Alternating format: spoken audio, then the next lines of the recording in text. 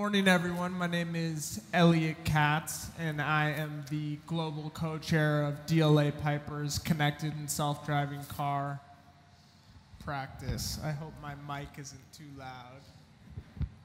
Um, and I focus on regulatory, privacy, and policy issues surrounding self driving cars. I work with automakers, tech companies, and municipalities. And Karen, who's about to introduce herself, and I are here talking about the future of smart cities. Thanks, Elliot. I'm Karen.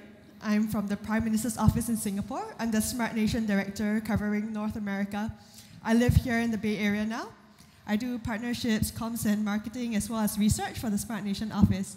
Just a piece of trivia about Singapore we call ourselves a smart nation, not smart cities, because Singapore is basically a city in a nation. So if you have to fill up an address, you know, you have to fill in your city and then your state and then your country, like Stanford, California, United States. In Singapore, I have to put Singapore, Singapore, Singapore. So that's why we are smart nation, right? So it's really nice to be with you guys today. So let's jump right into it uh, with a few questions to get us started.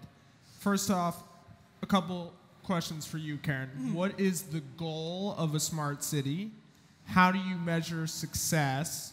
And what steps specifically is Singapore taking to become a smart nation?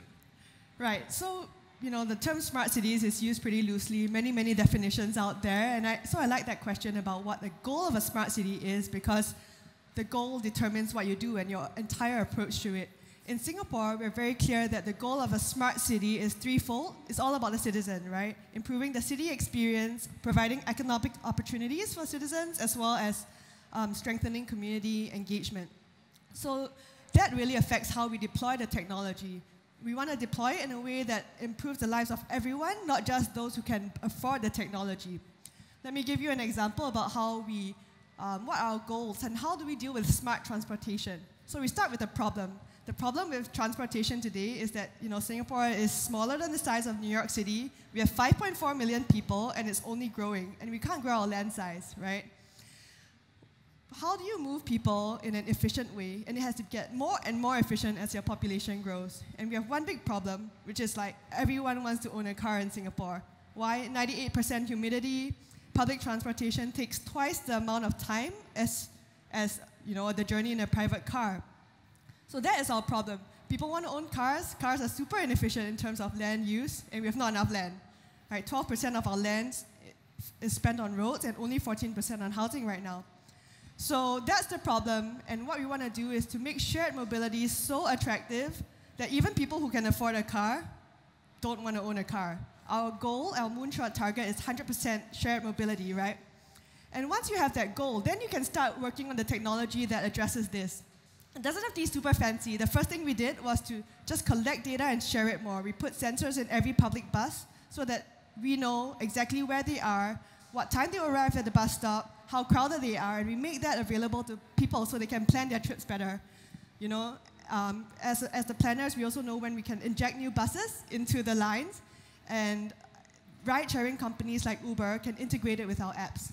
So that's how we start, and autonomy is a huge part of that. We'll talk about that later. But you know, as a smart city, we always think of what's the problem we want to solve for the people and the government. Uh, then set a really ambitious target for us 100% shared mobility and then deploy technology. It's always about in that order, not technology first. Same for healthcare, same for housing. But before I go into autonomy, I want to ask my friend Elliot, who is the global co-chair of DLA Piper's connected and self-driving car practice, you know, what is the state of self-driving car technology today? Why is it such a hot topic right now? Sure, thanks, Karen. So First, I think it's important to talk about what exactly is a self driving car. We, we've heard a lot, especially over the last year, from numerous companies saying we're going to have self driving cars on the road by 2020 or 2021 or 2022. But what exactly does that mean? And to me, I work on this stuff pretty much every day. Just saying you have a self driving car basically means nothing um, what these companies really mean, or what they should mean, is um, when they say self-driving is what the Department of Transportation calls highly autonomous autonomous vehicles. And so those would be SAE level 3, level 4 and level 5. But let me break down what each of those terms mean so that everyone understands here.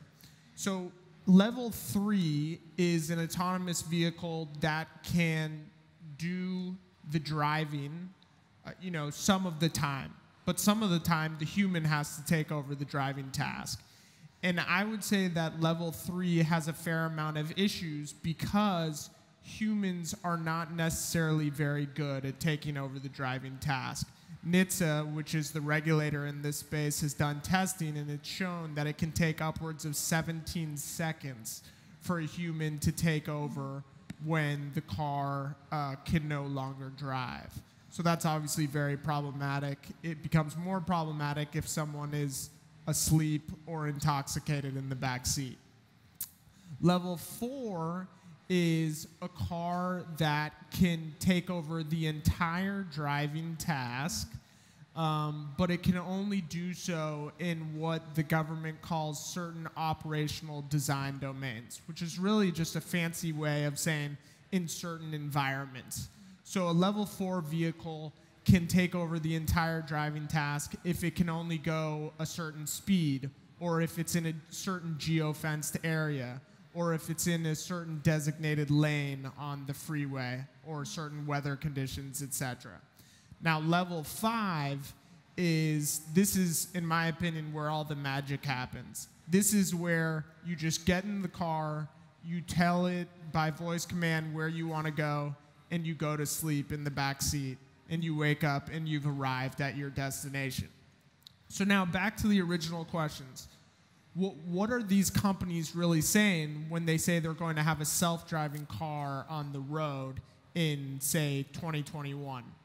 Probably they're talking about a level, four, most of them are talking about a level four vehicle that can take over the entire driving task, but it can only do so in certain very well-defined environments.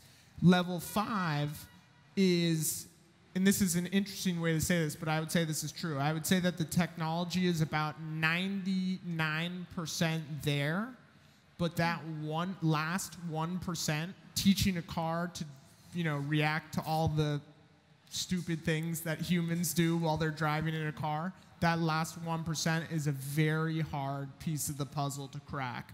So I think we're still pretty far out from true level five autonomy.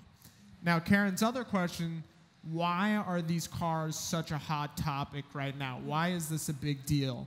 And I think there's a myriad of reasons why they're a big deal, but I think the biggest deal is that, quite frankly, humans, Karen I, all of you, um, the harsh reality is we're not very good at driving. And there's a clear technological fix in an autonomous vehicle. And, and the numbers are pretty um, stunning. So 1.2 million people die each year. And in the US, due to road accidents, in the US, 94% of those accidents are caused uh, by human error. Now, to use an analogy, that's the equivalent of seven fully loaded 747 airplanes crashing every single day in a given year and killing everyone inside. And so, for whatever reason, our society has said this is acceptable. Um, we're going to accept the fact that you know we need driving to get around, so we're accepting this level of loss. But the reality is, if that happened in the U.S. for even one week, right? You have seven airplanes going down every single day and killing everyone inside. We would shut down the aviation space as we know it. Um, to look at it from a slightly even more terrifying angle, 3,000 people died yesterday due to road accidents. 3,000 people will die today, tomorrow, etc. Um, NHTSA has said that autonomous vehicles can prevent 19 out of 20 of these accidents from taking place, thus saving over 1.1, potentially saving over 1.1 million lives. So I think that's why it's such a hot topic right now. You have a clear technological fix to a, of what is an, an actual very, very big problem, and, and a lot of people want to see that getting solved. So, Karen, can you tell us how AVs, autonomous vehicles, are a part of Singapore's smart city plans in, in moving forward? Right, absolutely. Autonomous vehicles are a huge part of Singapore's plans, and you know, most smart cities are thinking about them. In Singapore, we have trials going on for the past few years, but if we take a step back, you know, besides safety, how does autonomous vehicles add to this vision of 100% shared mobility, right? I would say that it's a natural progression. The first thing you do is have connected vehicles. Like, you know, Uber putting sensors in your buses allows you to optimize that whole fleet, right? Enabling more real-time transport, more information. And then you have shared mobility, which brings the cost of these rides down. So more people go into shared, into, you know, don't, don't need to own the car. And then finally, you have autonomy, which really just heightens the impact of that, driving people towards shared mobility. For example, if you have an autonomous fleet, you can dynamically size it much more efficiently than a human-driven fleet, right? Whenever there's a surge in demand, you can pump in some additional cars. You know, when your autonomous vehicles, they can move from one place, drop one person off, go to the next person. It's perfectly optimized. You never see them stopping in the city center where there's just limited roads and parking space. And that frees up a lot of parking space downtown for, for commercial activities which benefit everyone, for example. So yeah, autonomous vehicles play a huge role in, in, in our goal towards 100% shared mobility. I would add one more thing. We typically think of the autonomous car, but there's also autonomous utility vehicles and autonomous freight. What happens now is that these vehicles are moving in the day, cutting, you know, cutting the leaves of trees, moving heavy vehicle, heavy um, freight back and forth on the country, jamming up the roads during peak hour. Right? We want them to do it at night, but it doesn't make sense for companies to pay their workers more to work overnight. But if you have autonomous vehicles, all these activities can be done at night. It frees up the roads in the day and makes traffic con conditions easier for commuters, right? So they really add to the vision of 100% shared mobility. So again, yes, autonomous vehicles are a huge part of smart cities, but when we think about them, we have to think about the objective, right? Moving people into shared mobility, and then that really affects how we introduce them. We want to introduce them in fleets, you know, not just individual autonomous vehicles. And we also invest in things which may not seem like the hot topic right now, like autonomous utility, autonomous freight, because that, those are incredible, incredibly important parts of achieving our goal, right? So that's how we see autonomous vehicles as a smart city. I want to ask, I want to put it back to Elliot now. You know, we talk about the incredible safety benefits of autonomous vehicles. Tell me, why are they not going to be on our roads sooner?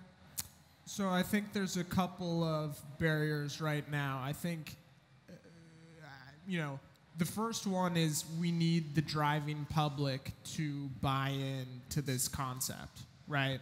Um, and I think the other main barrier is really the government is usually pretty far behind in terms of regulating new technologies. There's been some very big strides uh, made this year, especially at the federal level.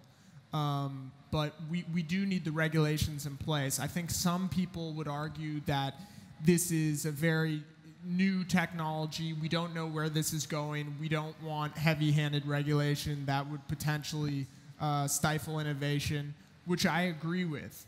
Uh, but I also do think that regulations are necessary. Um, perhaps not for the reason that a lot of other people think they're necessary. I don't necessarily think that they're needed to incentivize automakers to do the right thing or put the safest product on the roads. This is one of the most highly regulated industries in the world.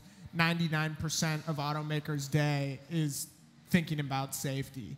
Um, and there's other incentives to do that. If, if they were to put a vehicle on the road, say a fully self driving vehicle on the road, and a creative plaintiff's attorney could make an argument that there is a reasonable alternative design, you know, a, a car that has no um, autonomous features and that's a safer product, that would be a class action that would cost them billions of dollars. It just wouldn't be worth it.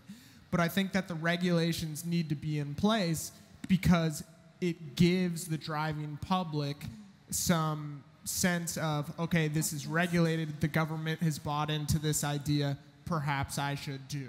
It's a sense of a level of uh, comfort. Right. So, Karen, I wanted to ask you what are some challenges for smart cities?